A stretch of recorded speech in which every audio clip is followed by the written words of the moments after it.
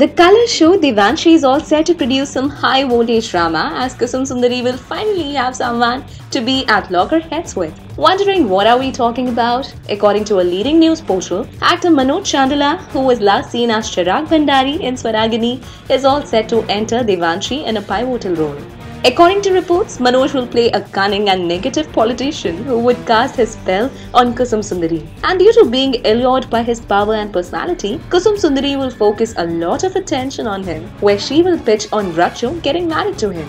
And the name of the character would be Shamsher Malik, who would also become the central point of a love triangle, courtesy being linked with Racho, and that's how Ashu, Kusum Sundari's driver, comes to the picture, as he is in love with Racho too.